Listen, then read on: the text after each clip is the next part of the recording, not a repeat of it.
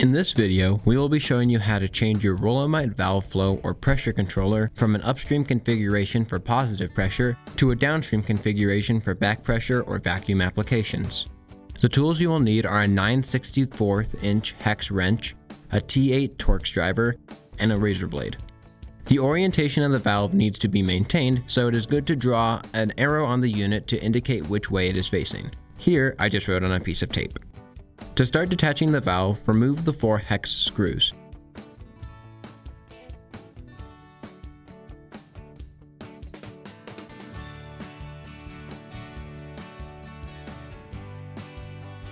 Remove the O-ring disc from the adapter. Note the orientation of it as there will be the large O-ring facing outwards and then an O-ring seated on the back of it. Under the O-ring disc, remove the four hex screws to detach the adapter plate from the flow body.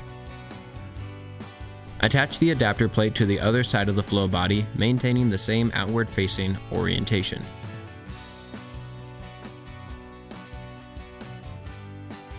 Next, open up the case of the controller. You'll need to slice the warranty sticker and remove six Torx screws from the side of the case, leaving the lower rear case screws in. Remove the case top of the controller and, carefully grasping it by the membrane switch ribbon cable, remove the front half of the casing as well. Using the razor blade, remove the red retaining rings holding in the front display.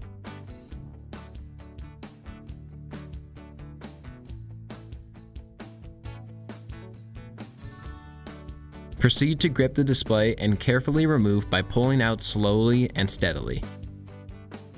With everything removed, move the Rolamite valve to the other side's case cutout. You will find at this point that the arrow is on the wrong side of the valve. To turn the valve around, press down on the valve and use your driver, or another tool, to push the dowels through the holes near the top of the flow body and remove them.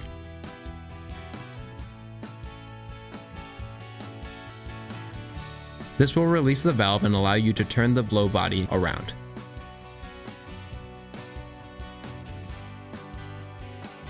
While pressing down the valve, put the dowels back in. It should now have the correct orientation.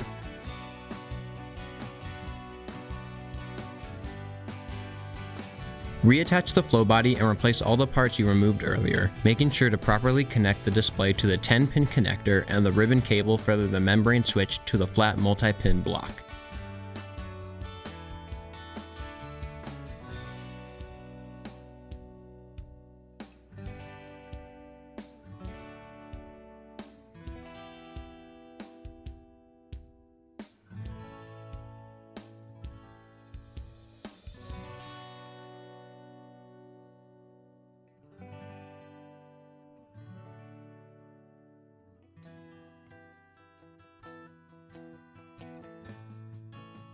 The feet on the bottom of the flow body will also be on the wrong side, so unscrew and put on the other side.